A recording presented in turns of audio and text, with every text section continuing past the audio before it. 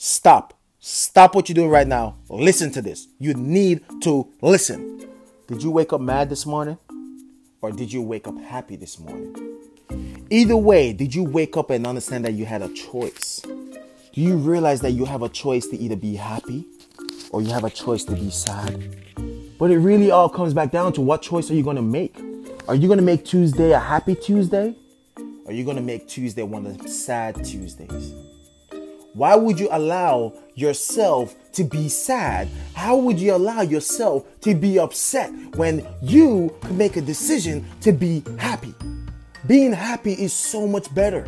You have a choice to smile versus making a frowny face. You know that for every frown that you make, you make a whole bunch of wrinkle in your face? Now, all my ladies, I know you don't want to have no wrinkles. I know the guys like, I don't care about wrinkles. The choice is yours.